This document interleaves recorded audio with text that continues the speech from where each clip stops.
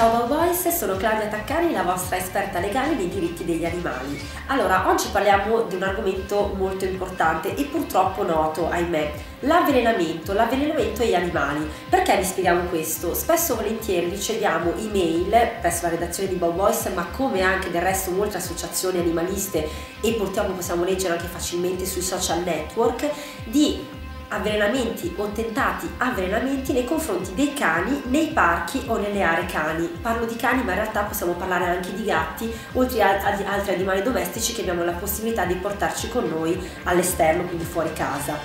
Allora, il problema per semplificare possiamo chiamarlo delle polpette avvelenate che cosa fare se ci troviamo in un parco o in un'area cani e siamo testimoni diretti o anche magari indiretti di un tentato avvelenamento, quindi se un cane inizia a stare male per un boccone avvelenato. La cosa ovviamente più importante è quella di soccorrere l'animale e fare in modo che l'animale venga ovviamente portato presso la clinica veterinaria più vicina. Fatto questo adempimento concreto e passando invece al, al consiglio legale è quello comunque di segnalare subito la presenza di questo boccone avvelenato all'autorità competente, quindi chiamare subito la polizia, intervenire, dovrebbe intervenire la polizia locale che comunque è competente in casi di questo tipo e far presente che c'è questo boccone avvelenato perché comunque lo stesso può essere pericoloso non soltanto per i cani ma comunque anche per le persone. Proviamo infatti bene immaginarci se un bambino dovesse inavvertitamente avvicinarsi per questo boccone e comunque tirare su un, lo stesso, insomma ci può essere comunque un pericolo anche per la incolumità pubblica, quindi bisogna sottolineare questo problema.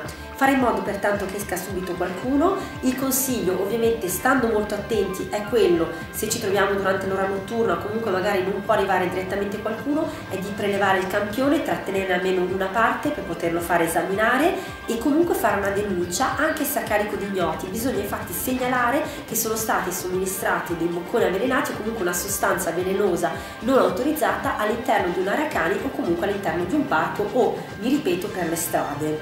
Quindi l'importante è quello di segnalarlo. Mm, che cosa possiamo dire sempre per quanto riguarda la legge?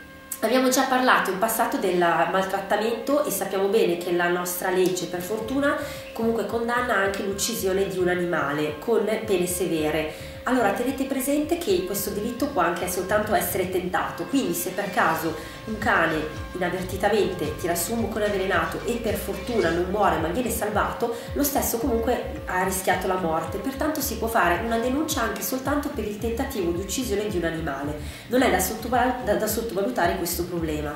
Altro eh, consiglio che posso dare pratico al di là di quello legale è mi raccomando senza seminare il panico ovviamente far sapere ad altre persone che frequentano la zona o comunque frequentano quell'area cani che sono, c'è questo problema e pertanto mettere eventualmente un annuncio o fare anche una segnalazione online.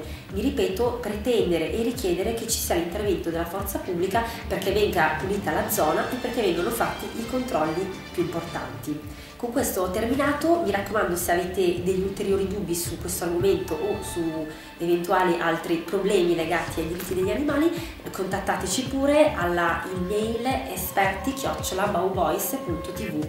Con questo vi saluto e alla prossima, ciao!